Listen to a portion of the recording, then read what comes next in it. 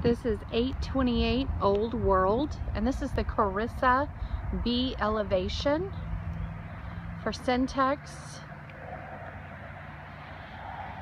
Neighborhood's still not completely built out.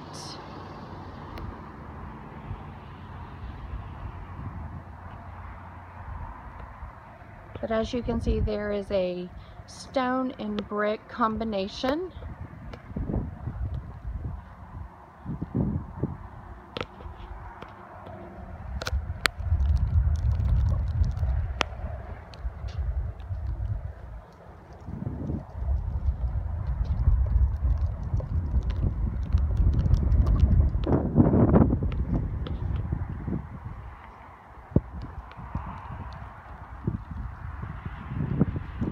Just going to show you the outside of the home first and weather permitted, hopefully be able to get to the backyard as well.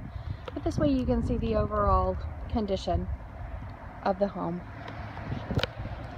This home will be completed by the end of this month and it will be ready for move-in. You do have gutters already installed.